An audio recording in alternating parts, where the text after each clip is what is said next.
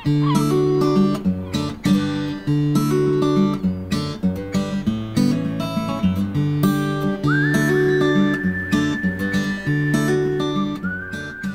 arbust en forma de coixinet i que creix sobre la roca als penyassegats litorals i cingleres interiors s'anomena ferradura valenciana.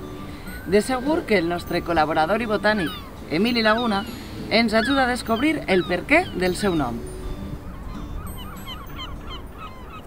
I nosaltres així estem acostant-nos ja a la ferradura Exacte, a que creix en esta zona de Sí, sí, Penyassegat. és una planta rupícola, és a dir, que creix directament sobre les roques i el seu hàbitat és just dice compartit en altres espècies d'interès.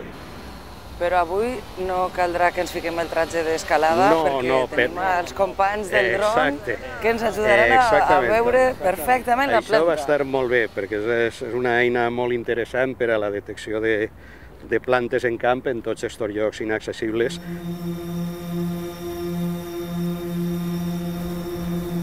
Molt bé, crec que ahir ja se veu un grupet de plantes, anem a veure si podem acostar-se.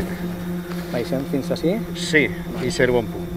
anem cap allà. Sí, anem, perquè n'hi ha també se veu més plantes per allà.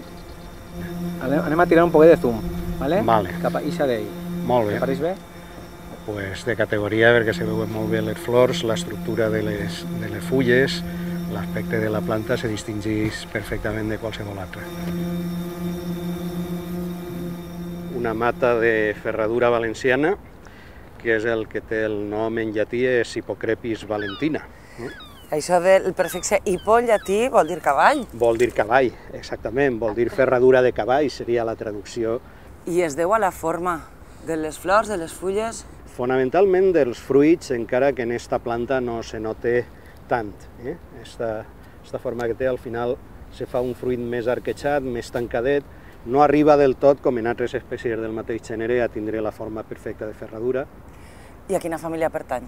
Pertany a les lleguminoses. Així, així on se veu, resulta que és una planta parenta de les faves, de, dels cigrons, etc. En quina època de l'any la podem veure en flor, com ara? Bo, fonamentalment, aquesta és una planta que floreix eh, relativament aviat, és molt tempranera.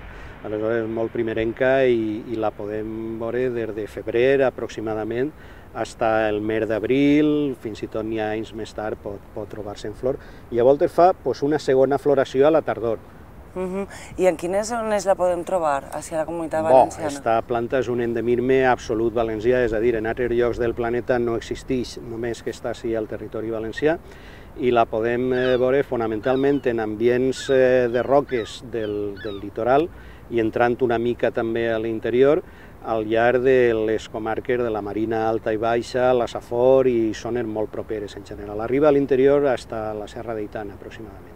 Planta rupícola i queda ben clar perquè naix així directament damunt Naix les roques. totalment de la roca i, i bueno, pues, entre altres noms se li diu també ferradura de penya o ferradura de penyal, per exemple, precisament per això.